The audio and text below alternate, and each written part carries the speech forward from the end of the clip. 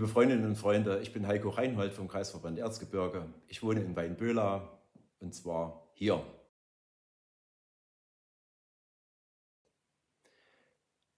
Seit 30 Jahren bin ich Grüner, war Vorstandssprecher des Kreisverbandes, war lange Zeit Kreisrat und kandidiere dieses Jahr auch in Meißen als Direktkandidat.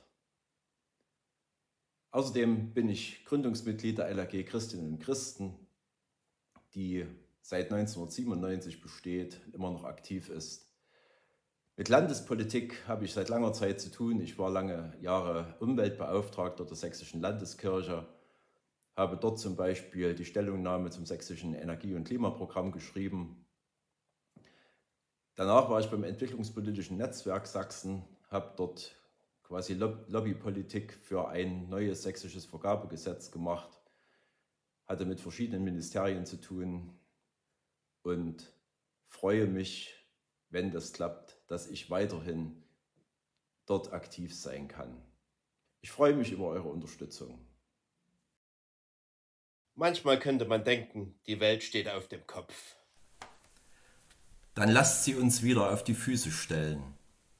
Ich trete für eine Welt ein, in der Gerechtigkeit, Demokratie, Freiheit, Solidarität und Menschenwürde keine Worthülsen sind, sondern Grundlagen unseres Miteinanders. Dafür werden wir gebraucht. Und wir brauchen dafür andere, zum Beispiel den Treibhausverein in Döbeln, ein Ort der Demokratie, von dem junge Menschen sagen, wenn es das Treibhaus nicht geben würde, wäre ich nicht mehr hier. Nicht weit davon ist meine Arbeitsstelle. Hier in der Volkshochschule bin ich Projektleiter für politische und ökologische Bildung.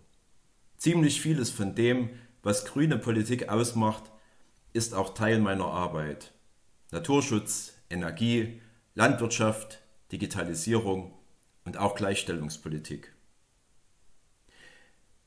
Die 17 Nachhaltigkeitsziele, die mir besonders am Herzen liegen, sollten als Aufgaben für die nächste Legislaturperiode reichen. Ich möchte gern daran mitarbeiten und bitte um eure Stimme. Vielen Dank.